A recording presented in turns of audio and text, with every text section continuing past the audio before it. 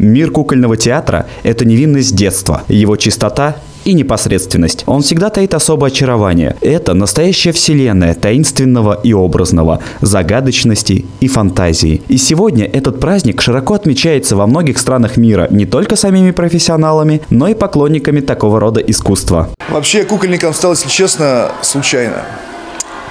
Закончил драматическое отделение Свердловского театрального института и совершенно случайно попав в этот город, в Рязань, тоже случайно попав в этот театр, к счастью, остался здесь.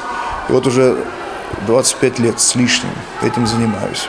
Режиссер признался, что он кукольник по призванию, а также рассказал, что отличает его от драматического актера. Это же двойная ответственность. Нас как бы двое на сцене. То есть я и, и мой персонаж кукольный.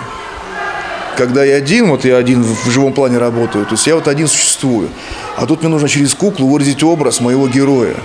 И бывает это образ очень сложный, бывает это какой-нибудь зверь или вообще существо э, фантастическое. Персонажа приходится оживлять и делать понятным зрителю, а перевоплощение в кого-то другого всегда необычно. В кукольном театре не только актеры примеряют на себя различные образы, но и нам пришлось вживиться в столь необычного персонажа. Валерий Николаевич признается, что большинство его ролей – это отрицательные персонажи. Играть кого-то, отличного от себя, всегда интересно и сложно. Из всех ролей около наверное, 70, может быть, 50.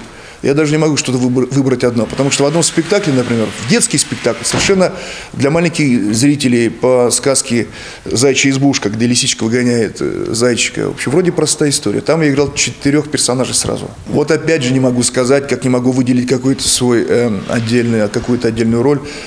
Все куклы мне близки, все куклы. И в этот особенный для кукольных коллективов день режиссер дал совет тем, кто хочет попробовать себя в этом деле и поздравил всех с праздником. Пожелание простое.